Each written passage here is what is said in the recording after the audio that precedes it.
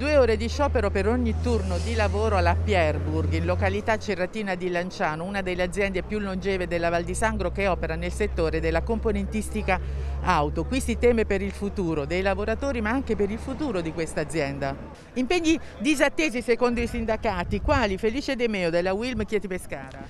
Impegni disattesi, forti impegni disattesi presi in sedi istituzionali da parte dell'azienda che ci aveva garantito che avrebbe portato delle lavorazioni. Ciò non si è verificato e purtroppo siamo preoccupati perché i nuovi impegni che si dovrebbero prendere eh, ci vengono tanto eh, tanto descritti, però alla fine si è concluso con un nulla di fatto perché hanno detto che loro non sono in grado di prendersi alcunché di impegno certo e preciso verso i lavoratori. Questa è fonte di preoccupazione da parte del sito in Lanciano e oggi qui ci sono i lavoratori a manifestare questo dissenso. Andrea De Lutis della FIOM, cosa temete? Ah, in Italia ci sono due stabilimenti, uno a Chieti, a Lanciano e uno a Livorno. L'azienda, cioè, o meglio, fonti ufficiali ci hanno detto che uno dei due stabilimenti è a rischio, quindi noi siamo molto e fortemente preoccupati per lo stabilimento di Lanciano.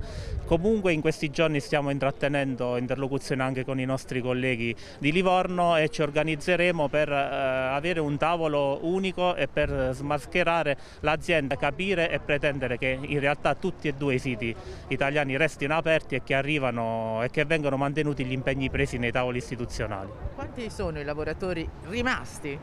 Oggi ci sono rimasti 114 dipendenti alla Pierburg di Lanciano. È un'azienda che piano piano si sta svuotando e crediamo che molto probabilmente è questo l'intento dell'azienda.